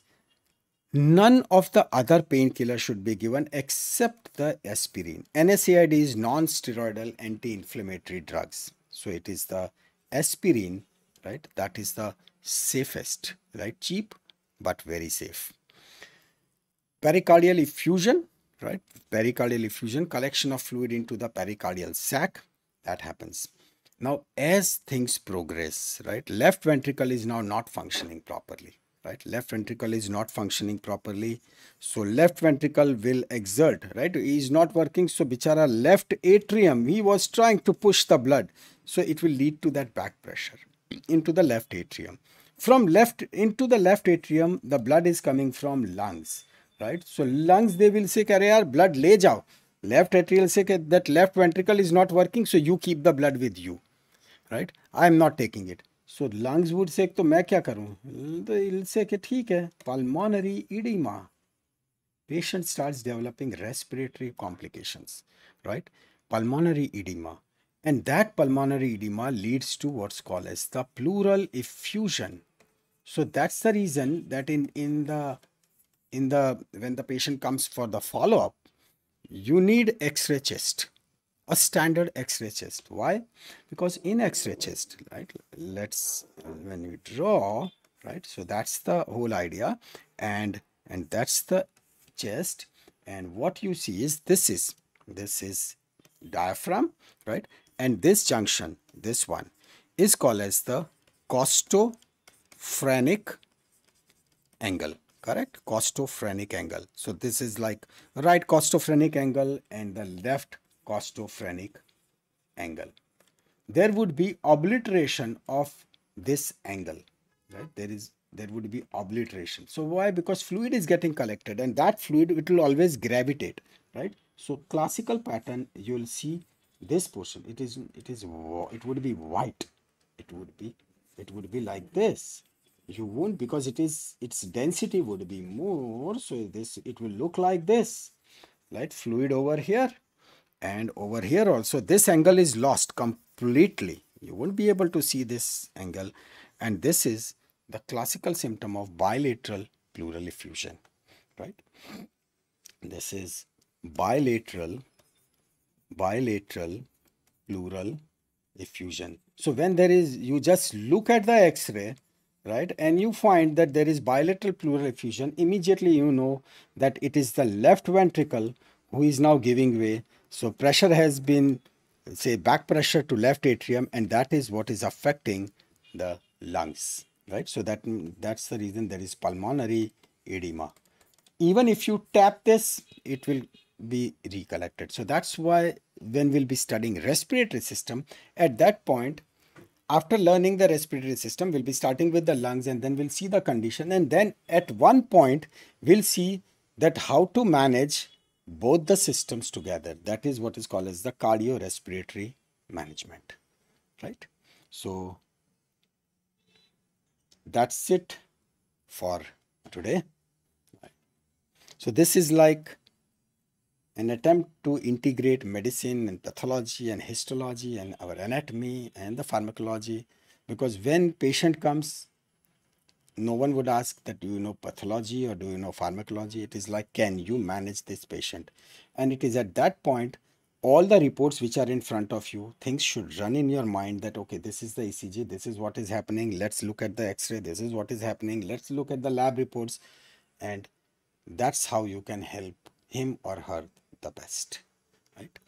Thank you so much for your patience. I really appreciate it right? Thank you. And wish you a very happy weekend. Well yesterday we lost the match but let's hope we we win further matches right? Thank you and bye bye revision? You want revision? I don't mind. High speed yes everyone because we have see it's like you guys are sitting since almost two hours I, know I was I was just talking to someone. I said they, they are so sincere means for full two hours, right? They they really sit and and and patiently they they listen to everything. Yes, everyone. Because Siddhant, you are the only one. Should we go for revision? High speed, 557 minutes. Chalo, let's. Let's do it. Mm.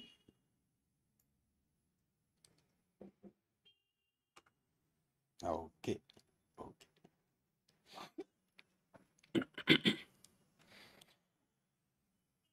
so here is topic myocardial infarction and these are the topics which will be revising angina pectoris starting with this right? Strangle strangle to the chest like python right? And pain is reduced pain is by reduced blood flow lack of oxygen. So that leads to ischemia. There are three types stable unstable and Prinzmetal stable angina. Chronic angina that's the most common. Point to take carry home is till 70% mm, one might not even know that there is some problem. And all this thing occurs because of the plaque. Plaque is atherosclerosis when the caliber itself is reduced so that less blood passes.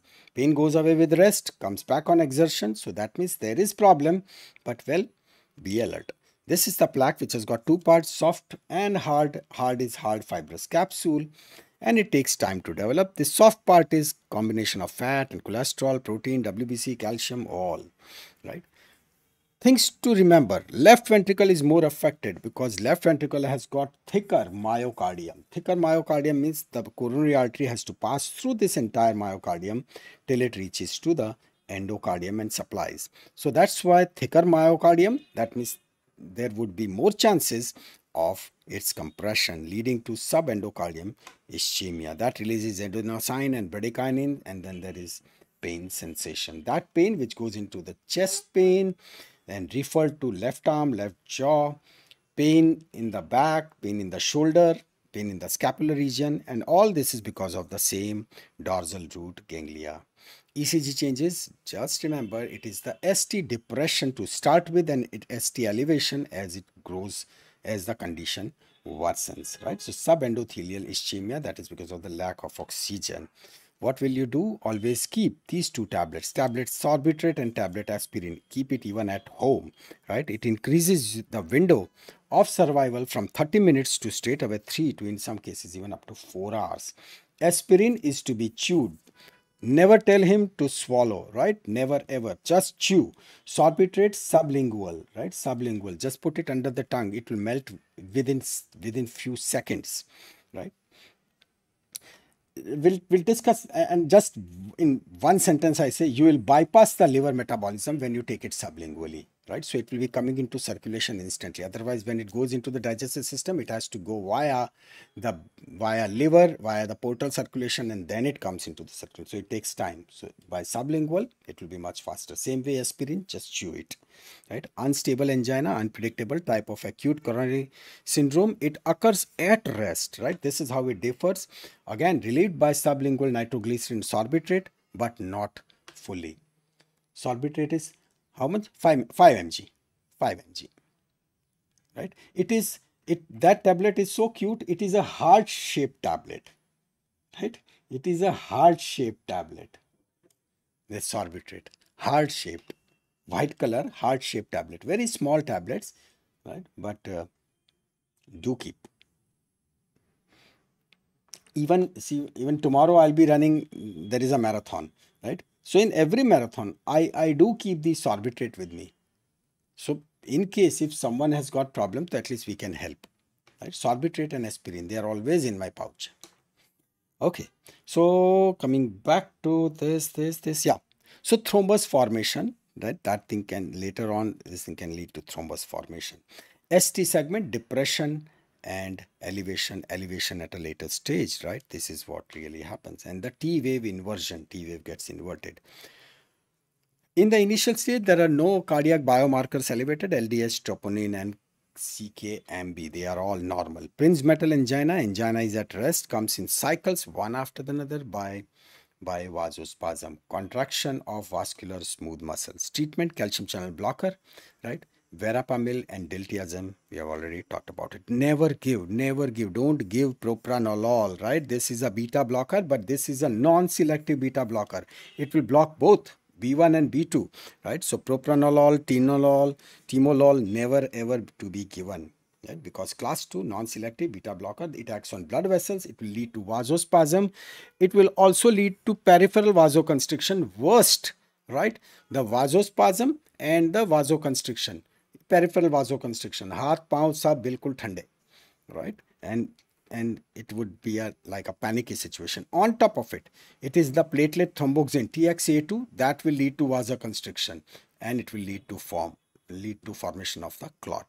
So all layers of heart are affected. That is called as the transmural ischemia. And in that case we'll get st segment elevation in our patient. That this was a brief discussion about the beta uh, receptors, beta 1, beta 2, beta 3, beta 1 that is for the heart and kidneys. For heart, it affects in such a way because this is fight.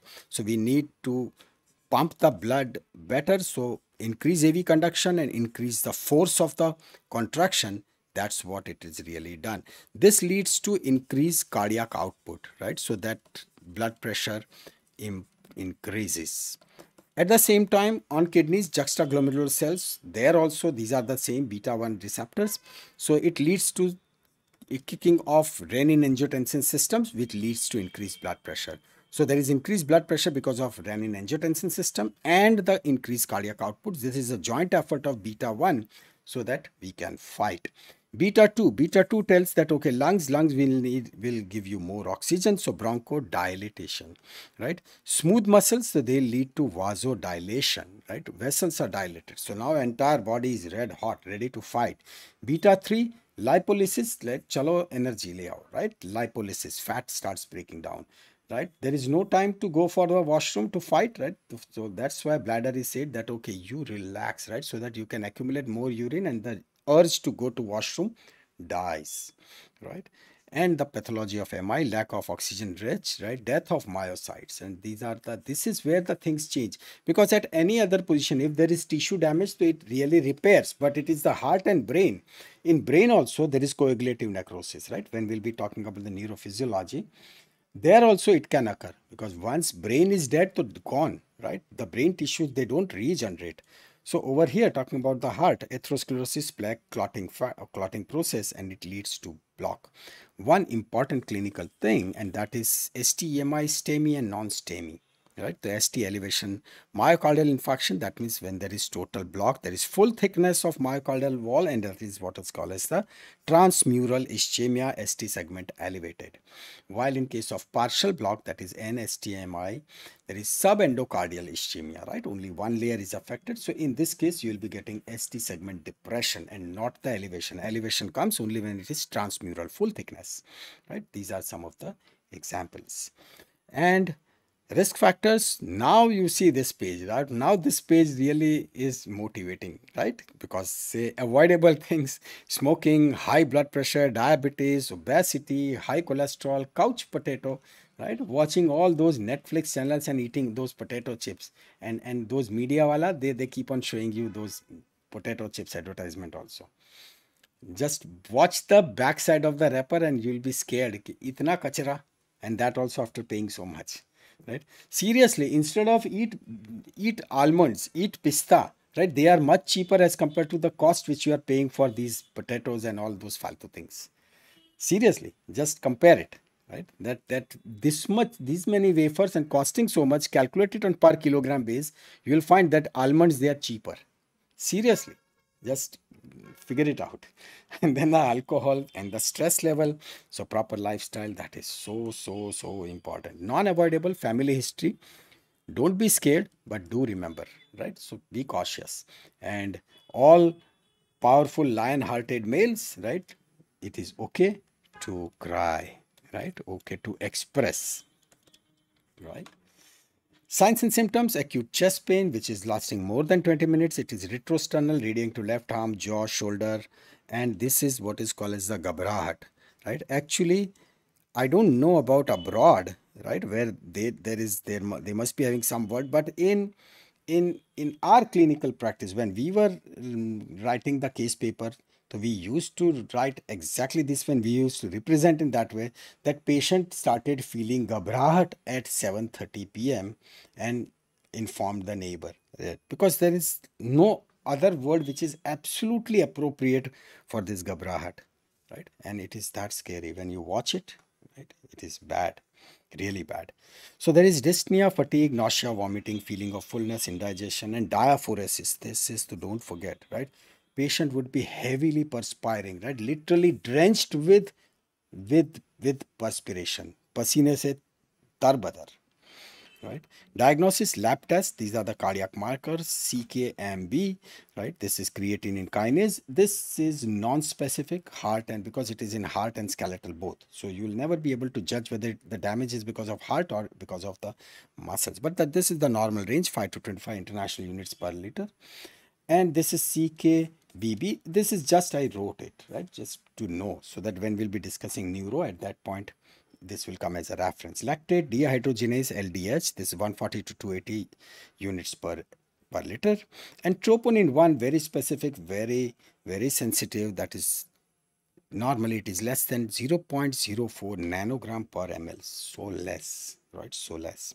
All these things, they are well sitting inside comfortably into the myocyte, but when the damage, they come out into the public troponin right? It is more specific. Ldh rises very rapidly falls very early not specific to heart muscle. And this is from lymphatics it comes to venous system to iv blood. This is the graph right? Troponin rises 2 to 4 hours high and then by the end of one day right it, its level drop and then it sustains for 7 to 10 days. While in case of CKMB, which is also called as the CPKMB, it is one and the same thing, phosphokinase myocyte binding, right? Creatine phosphokinase myocyte binding. So it takes one day and then it comes down by the second day. When this is happening, right? When this is happening, for CKMB, watch for that if there is any another peak. If there is development of another peak that means it is the second mi right? For the ecg you watch for st elevation q waves inverted t wave left bundle branch block left bundle branch block right? Because the electrical system is also giving way. Lad most commonly affected let right, left anterior descending then right coronary artery right main coronary artery and left circumflex artery so these are the percentage. This is what we talked about LBB that QRS is prolonged. It has to be, right? Because now the damaged tissue to current will go marela marela, right? Dhire dhire it will go. And on from the V1 perspective, you'll find that QRS is downward deflection because this is the tissue this is the tissue over here that this is the right side right? Because our left side though is not generating anything. So it is this tissue when the current it will be like as if it is going away from the v1 so in v1 you start getting this classical w pattern. And in the v6 this classical m pattern right? These are the typical of lbbb left branch block. So here it is st elevation where in which leads we are watching the ST elevation. So commonest one which we see that is the right coronary artery that would be involved when it is 3, 2, 3 and AVF and circumflex when it is on the left lateral side right these are the areas but this is the key V1, V2, the anteroseptal, V3, V4, V5, V6, right? See, and as anteroseptal to apical to lateral and one AVL is absolute lateral and then 2, 3 AVF, it is just the inferior. V7, V9, the posterior part. If you remember this, if you remember this, right? When I'll be showing you the ECGs, just by the look that where is this ST elevation and you will be able to figure out that this the myocardial infarction is in which area, which part of the heart is affected, right? This is like a key. Same thing, right? And treatment oxygen, high pressure in acute analgesic, morphine, anticoagulants, antiplatelets, aspirin and clopidogrel, they are the best. Clopidogrel is a wonderful topic, right? We'll take it in detail when we'll be talking about the pharmac part, especially. Beta blocker, metoprolol, right? That is what we'll use because it is selective. Yes, we talked about it that propranolol and timolol is not to be used because they are blocking both the things, beta 1 and beta 2, right? Statins, atorvastatin that is used because it will simply inhibit HMG-CoA reductase. HMG-CoA reductase, this is one of the enzyme. This is an enzyme which will which is used for the conversion of precursor of cholesterol into the cholesterol that is mevalonate. And if you stop it so then the cholesterol production is decreased. Evolution of mi 0 to 4 hours no changes. Take some time for enzyme leakage but arrhythmia can occur. The reason behind that oxygen is less. Oxygen is given less. So heart goes into anaerobic mode. There is decreased atp decreased atp will affect our beautiful sodium potassium pump. Sodium potassium pump is affected so sodium will be trapped inside the cell. Water would be attracted and it will lead to swelling right? The potassium who is outside it becomes notorious and it starts doing all those riots in the form of arrhythmias right 4 to 24 hours early coagulative necrosis. So now the tissue gets started getting eaten up. There is pale appearance because this is tetrazolium stain right? It will bind with ldh strongly but now there is no tissue so no ldh no binding so it looks pale right? When they spill out this is due to ischemic injury hypoxia, hypoxia inducible factor HIF that leads to stimulation. Because whenever there is hypoxia it will lead to VEGF. VEGF will very enthusiastically say chalo chalo blood vessels banao right? It will make blood vessels. So that polymorphs can be called out. In polymorphs special team neutrophils. Chalo neutrophils you come. And important that reperfusion injury. Otherwise, so it is good if it happens at another area. But over here, reperfusion injury, blood comes, blood comes into that infarcted area which is already damaged, right? And those neutrophils, they start using oxygen and they create reactive oxygen species, which will be more damaging, right? Calcium, now calcium comes out because RE, reticular endothelial system, it has broken, calcium is released, it leads to contraction, lack of ATP, right? There is damage, means it will contract but it won't relax right? So it leads to formation of this contraction band necrosis. Very classical picture very classical right? One to three days coagulation necrosis. Now to they start eating really bad right? And and the clumping of nucleus and this is all damaged tissue right? This is this is a totally damaged tissue right? Massive damaged so nuclear debris, nucleus, uh, nuclei are broken, leads to inflammatory reaction, right? That is even now the pericardium is involved. Still, neutrophils, they feel like they have not done enough work, that they place a call to monocytes and monocytes, they come up with their inventory, right? Now monocytes have come. Meantime, this VEGF, they say, Chalo, we make blood vessels. Now blood vessels are made, so that would be the path for these macrophages. So these vultures, they attack. And they say, Chalo, scar tissue, that is useless for the body, kha right? That leads to they just eat up. It is called as the phagocytosis or the cleansing process. But in the process, it becomes soft, free walled rupture right? Free wall rupture. So this is how the picture looks like. It is softening and the red border. Red border is when the blood vessels because of the VEGF have developed and this is the softening. Our cusp then these are the chordae tendineae and these are the papillary muscles and the and the moderator band they are damaged. When they are damaged, it leads to rupture of papillary muscles, mitral valve prolapse, mitral regurgitation. 3 to 14 days, pseudoaneurysm. Only one layer, high risk of rupture because it is this damaged portion now which is which is protruding. So it can easily damage, right? Because this is the damaged portion which has protruded. This thing can rupture easily. And when we say full thickness, so that means that is called as the true, true aneurysm yet to come. After two days, transcription of growth factor B, platelet derived growth factor, and it leads to laying down of the collagen. Now this collagen, collagen is, is telling that I can't contract, rest of the muscles you contract.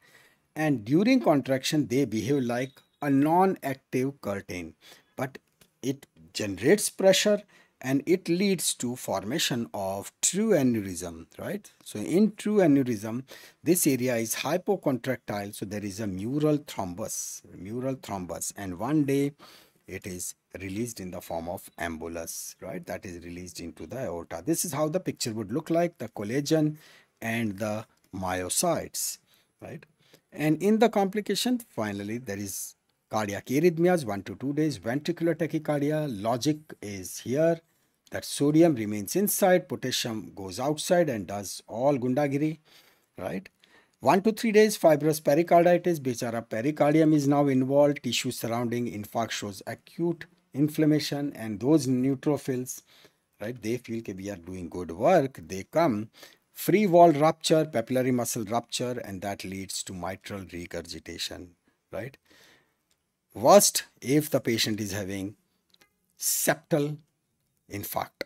So then IVS rupture, interventricular septum is ruptured, macrophage mediated structural degradation, left to right shunt, right? So now that is to be maintained, managed. About at around two weeks, ventricular pseudoaneurysm, high risk of rupture. And if this goes, game is over. 5 to 14 days, ventricular free wall rupture, sudden death, right? True ventricular aneurysm, it takes time, right? Because this, this is full thickness. so abnormal wall motion, risk of mural thrombosis. Then comes the autoimmune pericarditis in which that is called as the Dressler syndrome, pericardial antigen antibody reaction occurs, right? And in this case, chest pain is on inspiration there is pain and decreases when the when person sits. This is the point to be taken at home that in such cases, then the patient has come for the follow-up you take the ECG and you'll find ST segment elevation at multiple leads, right? Don't be alarmed. This is pericarditis, right? And if you have started tablet colchicine, that is basically it is allopurinol, so then this thing can be avoided. Always give aspirin as an SAID, not anything else, right? Watch for the pericardial effusion, that is the, and, and you will be able to even auscultate it. Left ventricular failure will lead to left load on left atrium will lead to pulmonary edema and that will lead to bilateral pleural effusion in which there would be obstruction of both the costophrenic angle right and left costophrenic angle and that is what is called as the bilateral pleural effusion. This is one of the basic thing which is to be taken in the follow-up right? So that was our discussion on MI right? Wish you a very happy wish you a very healthy weekend right? Do exercise well eat good right? And no kachra. Okay? Thank you so much. Bye bye see you on monday